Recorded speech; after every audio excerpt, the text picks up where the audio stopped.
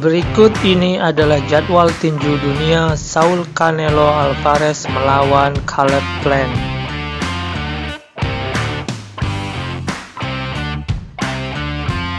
Kedua petinju akan bertarung untuk perebutan gelar juara tak terbantahkan di kelas menengah super. Canelo Alvarez adalah pemegang sabuk juara WBA, WBC, dan WBO. Sedangkan Caleb Plant adalah pemegang sabuk juara IBF.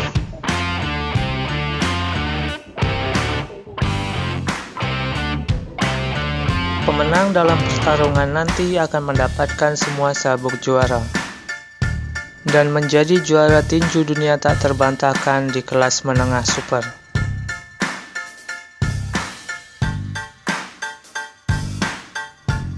Acara pertarungan akan digelar di Las Vegas, Nevada, Amerika Serikat pada tanggal 6 November 2021 atau pada 7 November 2021 di Indonesia. Acara tinju ini dapat disaksikan melalui bayar pertayang di Showtime.